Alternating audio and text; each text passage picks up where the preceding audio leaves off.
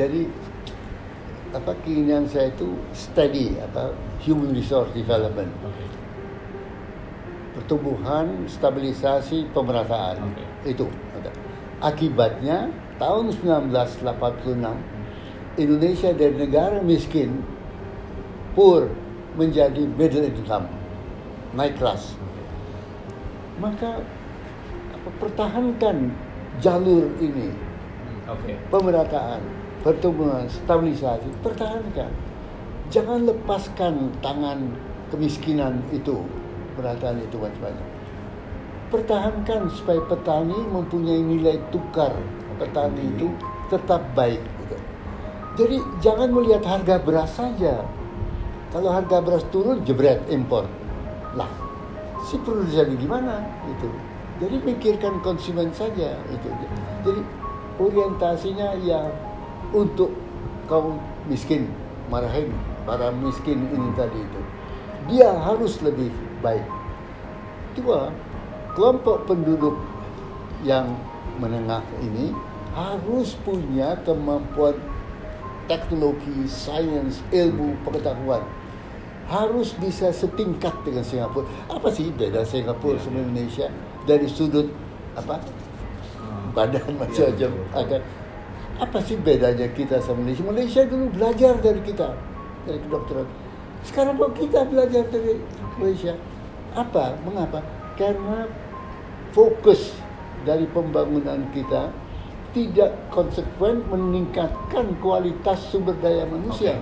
Baiknya. Jadi saya harap Pak Jokowi sudah kemarin pidato bagus. Human resource development, sumber baik Pak. Pertahankan itu habis-habisan supaya pada akhir beliau itu kita kejar ketinggalan. Kirim guru-guru ke Singapura belajar gimana sih Singapura belajar matematika. Kita matematika rendah sekali. Jadi fokus human resource yang sudah menjadi nomor satu dari pidato beliau kemarin hantam bisa-bisa aja pilih menteri yang unggul di dalam hal human resource teknologi tancap gas tujuan yang gelembung 15 tahun ke atas itu otaknya diisi.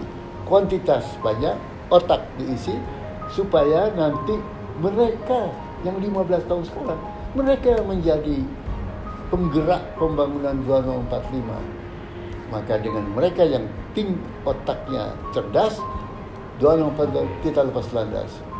Selesai. Kita punya tanggung jawab kepada generasi yang memerdekakan kita.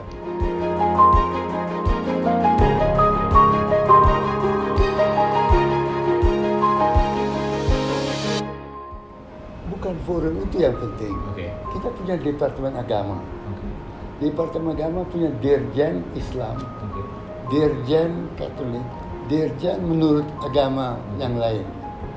Mengapa di dalam lingkup Departemen Agama tidak bermacam dirjen yang menurut agama tidak ber- berbincang bagaimana mencari fokus titik temu dari macam-macam dan ini keluar ke melalui pemerintah ke masyarakat. Kita kan punya Departemen Agama kita punya direktur jenderal yang bimbingan Islam, Kristen, macam-macam. Nah, bisa tidak ini pemerintah mengambil prakarsa membimbing Masyarakat. pengembangan ini yang menimbulkan toleransi. Oke. Jadi tidak usah bikin yang lain-lain. Ada aparatnya kok. Karena itu saya Pak Muti Ali Ya, ya. waktu adalah Menteri Agama. Itu. Beliau ahli perbandingan agama, menteri apa ahli doktor perbandingan agama. Sering kami bertukar pikiran, tapi saya lihat beliau memahami Islam begini, Kristen begini, Katolik begini, maka di mana titik temu yang menumbuhkan toleransi zaman beliau itu.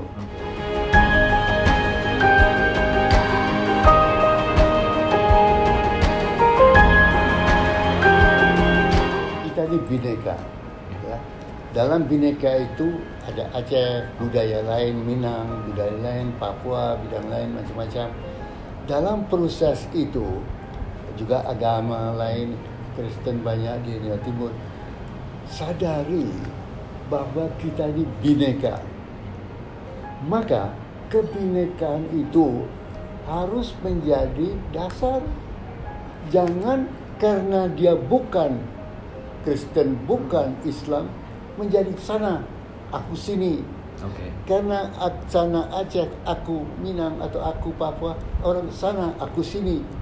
Itu nation building didasarkan pada pemahaman kebinekaan Oke. ras, agama, suku, tak suku macam-macam sadar itu ada dan atas dasar itu kita bangun bangsa.